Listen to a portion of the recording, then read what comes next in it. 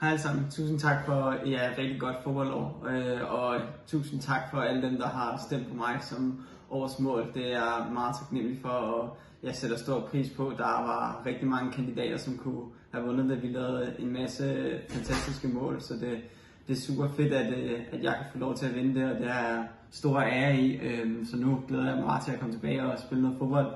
Men øh, tusind tak for alle jeres stemmer og jer, al jeres support i, i løbet af året.